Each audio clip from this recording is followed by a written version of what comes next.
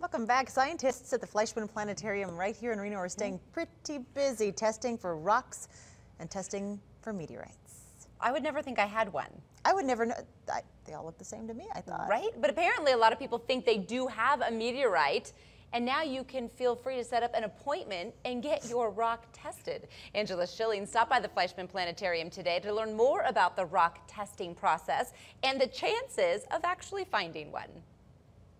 Here we have the Quinn Canyon meteorite, but it's not the only one found in northern Nevada. Today we were able to test a few to see if they pass the test.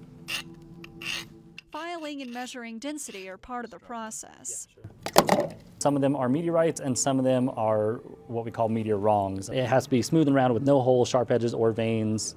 The first thing they do is a visual inspection. From that, we can usually tell if something is not a meteorite. Is the rock dark? Is it smooth?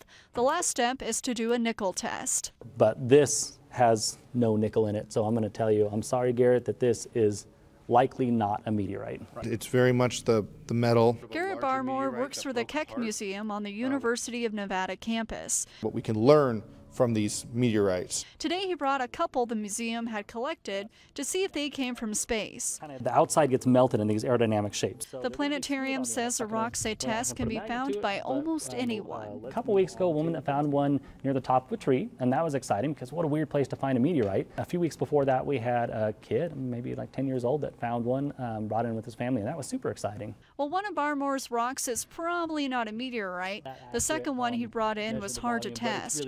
Got nothing. That's a good sign. So Results came back inconclusive. I usually tell people if you think it might be a meteorite, that's the coolest thing about it. It's just a good story.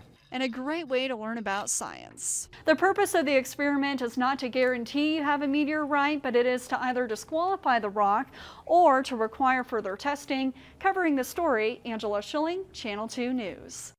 And the planetarium says they don't find confirmed meteorites very often. They've only seen about a handful in the last decade.